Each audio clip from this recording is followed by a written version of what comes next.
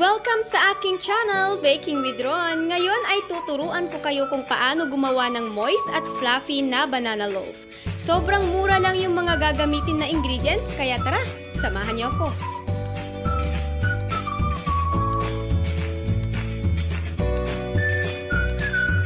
Para sa complete list ng ingredients, i-check po natin yung description box.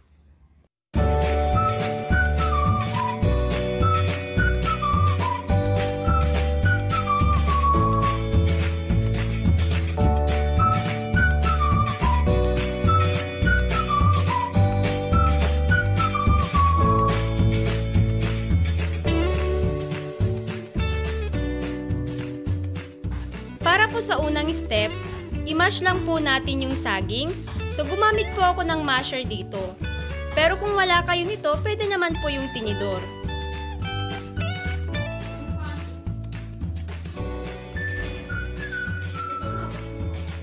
Isunod po natin yung white sugar. Haluin lang po ng mabuti.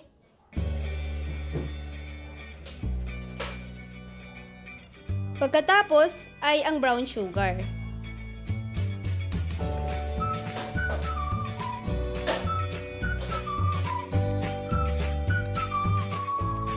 Isa-isahin po nating ilagay yung itlog, pero dahil dalawa po yung nalagay, pwede na din. Ayan, haluin lang po ulit.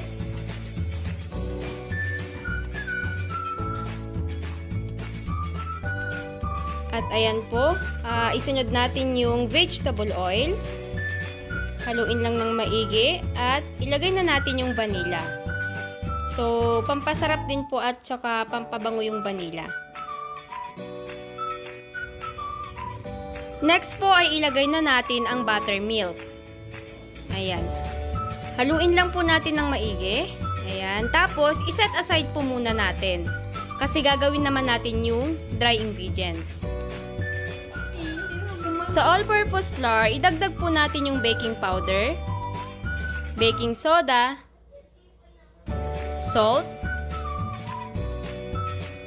at cinnamon powder. Haluin lang po natin ng mabuti.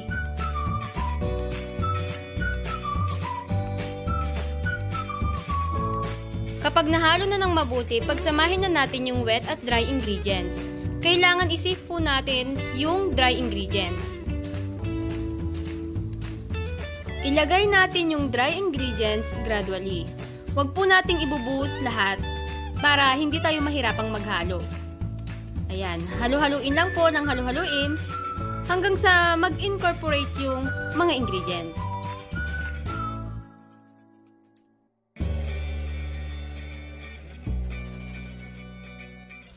Kapag okay na, ilagay naman natin yung chocolate chips. Optional lang po yan. So, pwede nyo po siyang lagyan, pwede din pong hindi. Ayan, ihalo lang natin. Nilagyan ko po yung chocolate chips ng konting flour. Ayan, i-preheat po natin yung oven ng 180 degrees habang naglalagay po tayo ng lard sa aluminum foil. Gumamit po ako dito ng timbangan Ayan, para ma-make sure na pantay-pantay yung laman ng bawat lagayan. Napakahalaga po niyan, lalo na kung ito ay pang negosyo. Pero kung wala naman po kayong timbangan, pwede kayong gumamit ng measuring cup. Ayan.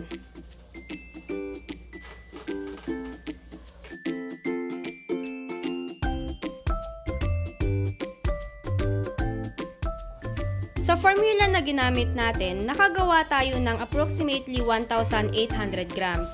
So, tatlo lang yung nagawa ko dito kasi tig 500 to 600 grams yung per lagayan natin. Pagkatapos niyan ay maglalagay tayo ng topping. So, depende po sa inyo kung anong gusto nyong topping. Sa akin, chocolate chips lang po yan. May mga iba naman po na naglalagay ng walnut o kaya almond.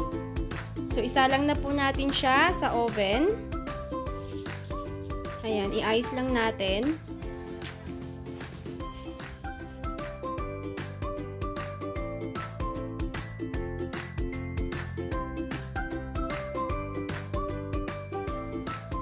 Ayan, naka 180 degrees Celsius pa din siya at lulutuin natin ito ng mga 30 to 45 minutes.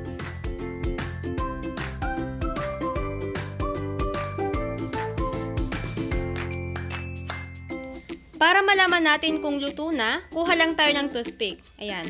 Kapag malinis na, ibig sabihin okay na. So, tanggalin na natin yan sa oven at i-cool down natin.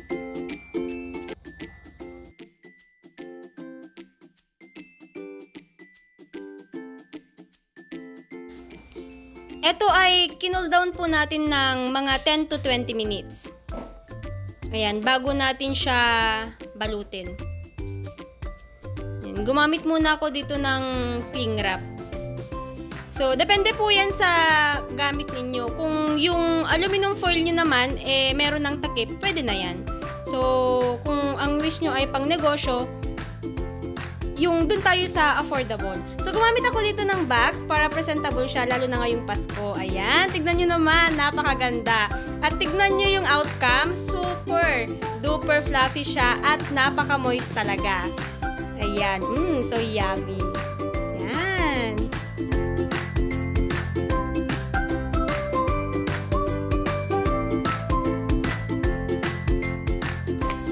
Kung nagustuhan mo ang video na to, mag-like, subscribe, at i-hit mo lang yung notification bell para updated ka sa mga susunod pang videos.